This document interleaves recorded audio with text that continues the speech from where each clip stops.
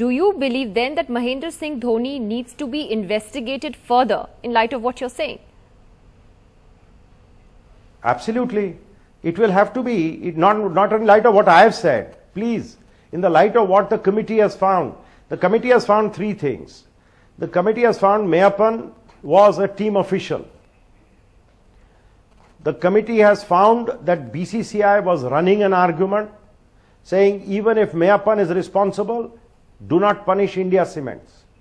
And the committee has found, in, despite egregious evidence of Meyyappan's involvement in CSK, the Mr. Srinivasan, Mr. Uh, Dhoni and other officials came and said he had no involvement with CSK. The committee has found this. Now, if this is what the committee has found, action will have to be taken against the franchisee, i.e. India Cements.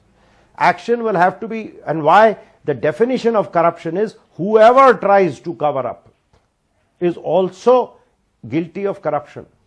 So, if it is correct as the committee has found that they have taken this position, it's an attempt to cover up. If it is an attempt to cover up, the franchise is liable to be uh, is terminated and action taken. Now BCCI should be the policeman, instead it is being their lawyer.